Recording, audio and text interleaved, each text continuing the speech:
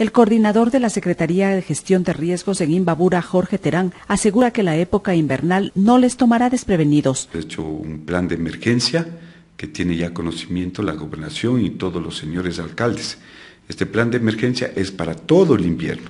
Las autoridades seccionales tienen responsabilidad en cada uno de sus territorios, aclaró Terán. Para que de acuerdo a sus competencias ellas puedan funcionar. Hay que entender que la Secretaría de Riesgo no es quien va a limpiar los sifones, ni tampoco quien limpia las quebradillas ni las quebradas. Esa es responsabilidad de los señores alcaldes de MAP. El plan ha logrado también determinar los sectores vulnerables en los diferentes cantones. Vamos a poner Otavalo, por ejemplo, el lago San Pablo, quien es el que nos ocasiona permanentemente los problemas del momento que el invierno sobrepasa de las, de las lluvias normales. Entonces, si nosotros no limpiamos el desaguadero del lago San Pablo, pues ¿qué va a pasar? Se va a subir el nivel freático de la, de la laguna San Pablo y se va a inundar las, las comunidades que están asentadas en el contorno de la laguna. En Ibarra, los diques ubicados en las diferentes quebradas que bajan desde Limbabura, así como el embovedado de la quebrada Javí, están cumpliendo su misión a Punto Terán. Es una obra que ha tenido un sinnúmero de problemas, pero como tal ha venido funcionando.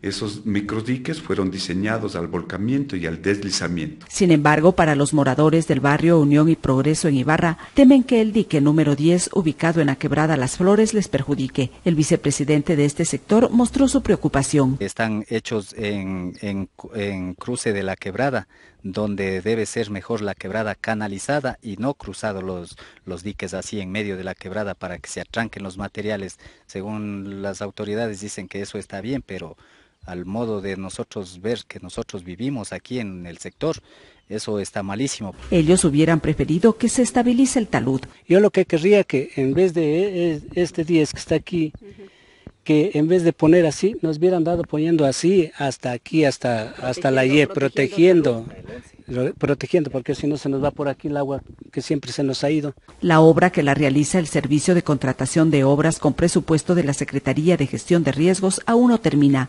Esta es otra inquietud de los moradores de este barrio. No están terminados aún, entonces esto en vez de ser una protección, una ayuda para la ciudadanía, es una una amenaza, o sea, es una, ¿qué le, qué le puedo decir en otro sentido? O sea, es una, una contra para nosotros. Por otra parte, están alarmados porque un vecino de la quebrada estaría arrojando estos escombros y desperdicios en el cauce de la misma. Compra volquetas, trae, le dan del municipio mismo las volquetas que vengan a dejar material aquí como se ve en, el cauce de la quebrada, justamente aquí en la curva, en las tomas se ven muy claras y o sea, eso nos perjudica en gran cantidad, o sea, peor, mucho más que ya baje el material. Ellos piden la presencia de las autoridades para que frenen estas acciones y ayuden a solucionar el conflicto. Con cámaras de Diego Martínez, Nancy Valdivieso, Prisma Informativo.